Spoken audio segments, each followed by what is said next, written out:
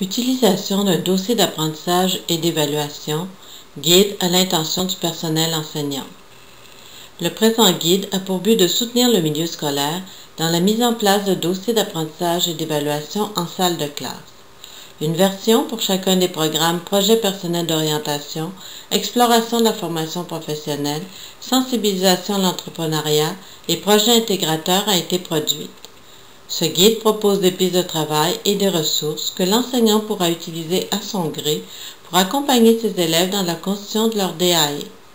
Les pistes de travail données dans ce document ont été établies dans le respect des valeurs et des orientations de la politique d'évaluation des apprentissages. Elles viennent exemplifier la démarche d'évaluation qui est proposée et permettent d'actualiser les deux fonctions d'évaluation, la fonction d'aide à l'apprentissage et la fonction de reconnaissance des apprentissages. Voici les principales sections de ce guide. La section 1 présente les encadrements dont tient compte le présent guide, soit le programme d'études, le régime pédagogique et le cadre d'évaluation des apprentissages. Ainsi, le lecteur retrouve un rappel des fondements essentiels. La section 2 les éléments à prendre en compte pour la construction d'un dossier d'apprentissage et d'évaluation. On aborde la planification de l'apprentissage et de l'évaluation, la sélection de traces suffisantes, pertinentes et représentatives, l'interprétation des traces recueillies et la communication des résultats. La réflexion, élément fondamental d'un DAI, est aussi abordée. Finalement, on présente différentes ressources pouvant servir à l'enseignant pour la planification des apprentissages et de l'évaluation, pour l'interprétation des traces, mais aussi des ressources à l'intention des élèves pour faciliter leur rôle actif dans la construction de leur DAE. La section 3 propose des outils de consignation, notamment numériques. En annexe, le guide propose des, des, exemples de traces ainsi que des ressources pouvant être récupérées et adaptées en classe, soit des listes de vérification, une grille d'interprétation. Dans la section références, se trouvent les différentes sources auxquelles l'équipe de conception du DAE s'est référée pour la rédaction de ce guide. L'esprit dans lequel a été pensé et conçu ce DAE réside dans les différents rôles que peuvent jouer l'élève et l'enseignant. Le rôle que joue l'élève dans cette collecte d'informations est primordial. Il lui faut s'engager pleinement dans sa démarche d'apprentissage et d'évaluation. Il lui appartient de commenter ses productions et ses apprentissages, d'analyser sa démarche d'apprentissage, de même que de la réguler, et de collaborer à la sélection de traces pertinentes.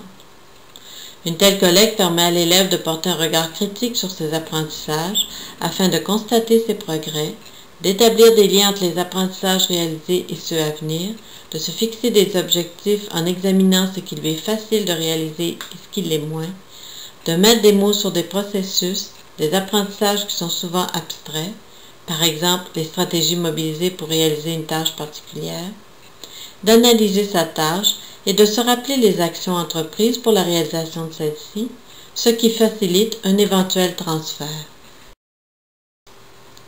Le plus grand défi pour l'enseignant est de s'assurer que les traces recueillies témoignent du développement des deux compétences, donc elles sont représentatives des apprentissages de l'élève.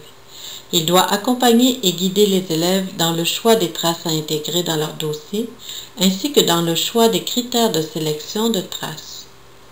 De plus, afin de soutenir les élèves dans la régulation de leurs apprentissages, il est nécessaire que l'enseignant fournisse des rétroactions en s'appuyant sur les traces sélectionnées par les élèves tout au long de leurs apprentissages. Une telle collecte permet à l'enseignante ou à l'enseignant d'examiner les stratégies mobilisées, les étapes de la réalisation d'une activité ou d'une démarche exploratoire, les pistes d'amélioration possibles, la régulation, des preuves des apprentissages réalisés. Cette collecte peut aussi mettre en évidence ce qui passe parfois inaperçu, par exemple les liens que l'élève établit entre les éléments de son profil personnel, entre ses découvertes de son profil, etc. Le guide DAE propose des explications des différents éléments considérés ainsi que des insertions de capsules en classe où une enseignante témoigne de sa pratique. Les capsules en classe propose aussi des exemples d'actions réalisées par un ou par une élève. On retrouve aussi des exemples de production d'élèves, ici un collage accompagné d'une fiche de réflexion. Le guide DAI présente aussi des exemples issus de la pratique, donc adaptés aux différents programmes, ici pour le programme PPO. Le guide propose aussi des exemples d'outils pouvant être utiles aux enseignants pour la gestion des traces recueillies.